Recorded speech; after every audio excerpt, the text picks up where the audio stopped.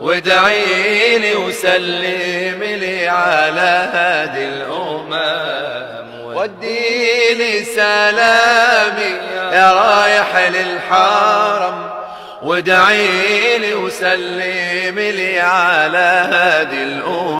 شاركت الفنانة نرمين الفقي جمهورها مجموعة من الصور أثناء تأدية مناسك العمرة من أمام الكعبة الشريفة مشاركة نجوم أحدث أعمالها الفنية ذلك من خلال حسابها على إنستجرام. وكتبت نرمين الفقي معلقة ألف حمد وشكر ليك يا رب كنت ناوية من قلبي وتمت العمرة مع حبايبي وإخواتي مع فريق العمل ربنا يتقبل منا.